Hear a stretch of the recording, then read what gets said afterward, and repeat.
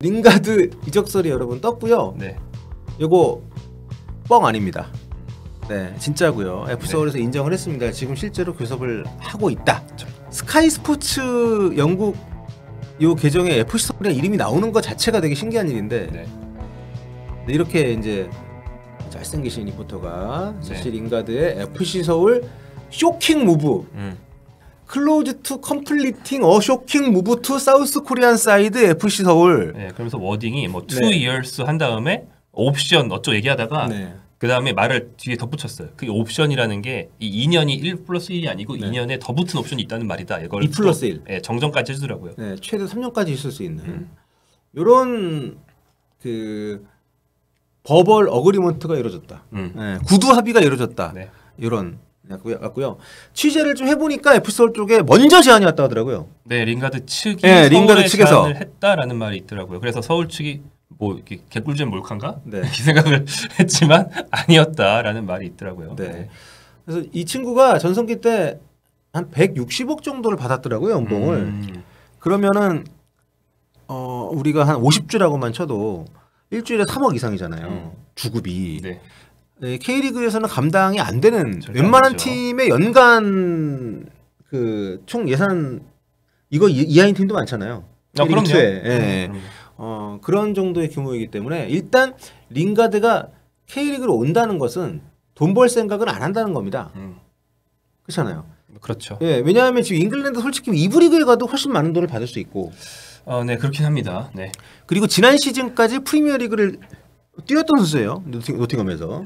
그렇죠. 물론 반년 네, 놀았지만. 네. 네. 지금 이제 FA 상태여서 이적료가 없긴 한데 어그 그 연봉 어떻게 되는 거죠? 하여튼 굉장히 여러 가지 면에서 비정상적이고 이례적인 이적설이긴 합니다. 돌아가는 분위기를 보면 여기저기 좀 찔러 보니까 가능성이 굉장히 높더라고요.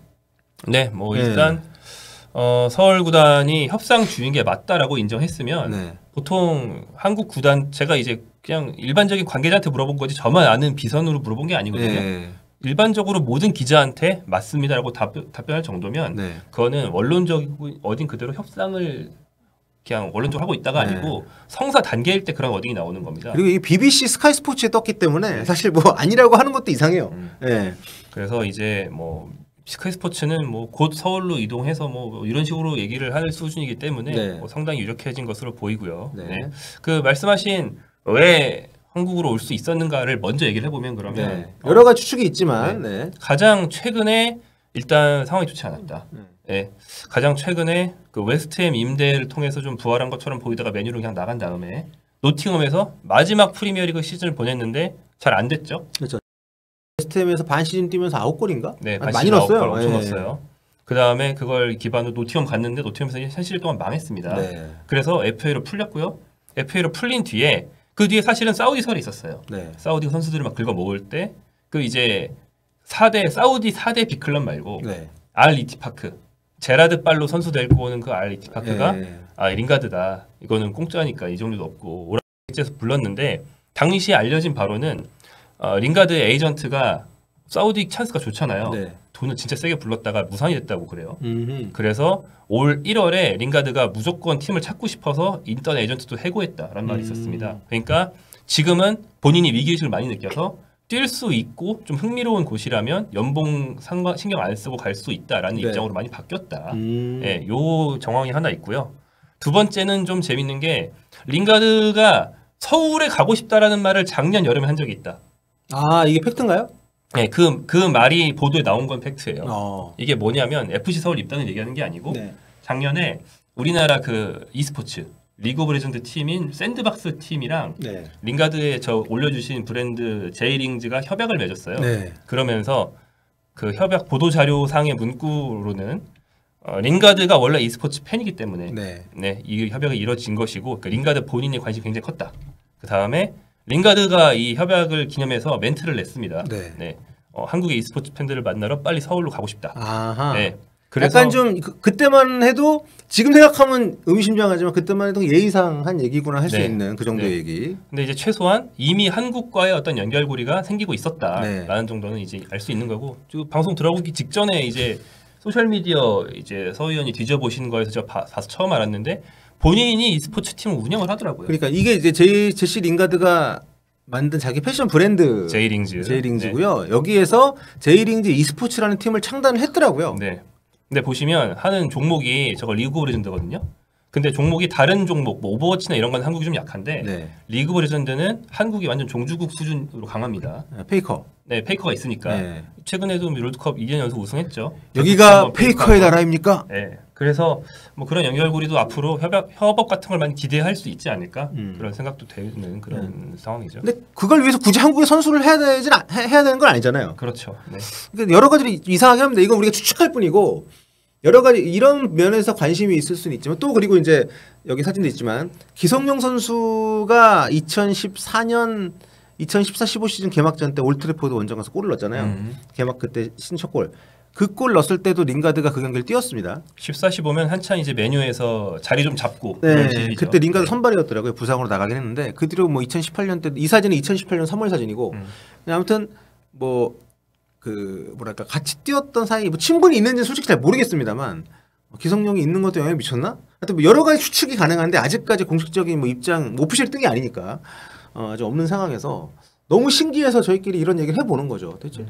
정말 뭐 링가드 뭐 가족 중에 뭐 케이팝 좋아하는 사람이 있나? 아니면은 정말 링가드가 한국인 여자친구가 있나? 뭐 케이팝 얘기는 이제 농담으로 많이 하는데 네. 저 선수가 원체 춤추는 걸 좋아하다 보니까 그렇죠. 아 이제는 스맨파인가 뭐 이런 이런 농담들을 하긴 합니다만 뭐 한국에 와서 K리그 선수 생활하면서 어 뭐냐 저기 뭐 피시대 같은 데 나가서 음. 할 수도 있고 뭐 SNL도 할 수 있고 네. 아까도 얘기했지만 그 뭐야 덕배 이어서 그, 시- 그 신도림 조기 축구의 시리즈 그럼 쫙 갈 수 있잖아요. 그렇죠. 네. 네. 어 여기가 더브라이너와 그리즈만이 했던 그거라고. 네. 근데 심지어 만약 한국에서 뛰잖아요. 네. 뭐가 됩니까? 고정 출연이 됩니다. 아 그러네. 신도림 신도림 조기 축구의 고지 고정 코너로 갈 수 있네. 하루 가서 한 3회분 찍고 놓으면 되니까 네. 예, 사, 자, 자주 나갈 필요 없거든요. 고정 출연 가능은 하다. 축구 어렵네 이런 거 하고 막. 야 근데 사실 뭐 급으로 보면 덕배급하고는 한참 거리가 있는 선수긴 하지만 국내에서 인지도만큼은 정말 웬만한 선수 뒤지지 않기 때문에 네. 어 포스트 박지성 시대 맨유 선수 중에서 한국에서 top tier 아닙니까 유명세로? 아, 유명세. 네. 예, 뭐 한때 실력이 좋았던 때도 있었고 맨유 유명세 그렇죠. 때도 있었고요. 잉글랜드 대표로도 꽤 많이 뛰었습니다. 한 마흔 네. 이겼어요. 그리고 둘째로 이제 좀 컬트적인 인기가 있죠. 밈화된 네. 인기가 있습니다. 예, 한국 오면은 볼리TV도 근데 저렇게 빡봄이면 네. 세게 부르실 가능성이. 아, 그렇죠. 근데 아무튼 이런 그 본인의 어떤 부업이라고 할 수 있는데 선수 생활은 짧잖아요. 그 이후의 삶이 더 길기 때문에 그렇죠. 이제는 주업에서 주업과 부업을 좀 바꿔가는 시기일 수도 있다라고 생각을 하면 또 한국으로 오는 이유가 좀 더 다양하게 추측이 되는 건데. 네, 30대잖아요. 지금 32이거든요. 한국 나이 33이고요. 네. 저 나이면 손흥민이랑 동갑이기 때문에 관리를 잘한 손흥민 같은 선수는 창창할 수도 있고 음. 근데 본인이 어, 요즘 좀 경력 깎였는데 싶으면 은퇴 생각을 할 수도 있고 30대 초반이 완전 갈리는 나이거든요. 그렇죠. 그런 나이입니다. 92년생이니까 나상호의 공백을 메우는 영입이 되는 거죠. 네, 나상호의 공백을 메우러 너무 화려한 선수가 온뭐 네. 그런 셈이 됐는데 나상호의 공백을 메우기 위해서 나상호 선수가 평생 번 돈을 1년 만에 버는 선수가 오는 거죠. 네, 뭐 그런 셈이 됐고 네. 어뭐 조영욱도 돌아오고 해서 네. 뭐 서울의 이선에서 득점을 지원할 수 있는 선수는 아주 빵빵하지 않을까 싶고 네. 뭐 저는 어, 링가드를 어- 얼마나 잘 활용할 수 있느냐에 따라서 이제 김기동 감독에게는 정말 감독 인생에서 또 한 번의 큰 허들이자 네. 뭐 재밌는 도전이 온 게 아닌가. 왜냐면 김기동 감독이 늘 조금 비교적 저연봉이 한표 꺾인 선수들, 그러니까 쉽게 말해서 내 말을 잘 들을 수밖에 없는 애들을 잘 다뤘단 말이에요. 근데 서울은 애초에 포항보다 좀 더 큰 팀이고 네. 원래부터 좀 단합이 잘 안 되는 시기가 종종 있었던 팀인데 린가드가 대표적으로 네. 정신 똑바로 차릴 때랑 그리고 그렇지 않을 때랑 경기력 편차가 엄청난 선수이기 때문에 그쵸, 그쵸. 예, 이 선수는 본인의 최대 장점이 팀 플레이라는 거를 인지하고 뛰면은 진짜 제2의 박지성처럼 뛰어요. 네. 팀 플레이 정- 정말 좋기 때문에. 네. 근데 그걸 잠깐 망각하고 아닌데 내가 슈퍼스타인데 나는 드리블과 개인기가 장점인데 이렇게 세- 착각하고 뛰는 시기 가끔 있는데 네. 그러면은 기량이 확 떨어지거든요. 그래서 서울에 왔지만 너는 팀 플레이를 해라라고 김기동 감독이 잘 시키는 게 또 네. 중요하지 않을까 생각합니다. 제 가장 기대할 수 있는 건 그겁니다. 이승우 선수 및 문선민 선수의 맞대결이죠. 아 그렇네요. dance battle이죠. 네. 어 김기동 감독 얘기하셨지만 김기동 김기동 감독이 부활을 시켜서 프리미어리그에 역판매하면 재밌겠다. 그러면서 김기동 감독도 가. 네. 네. 정말 재밌는 거예요.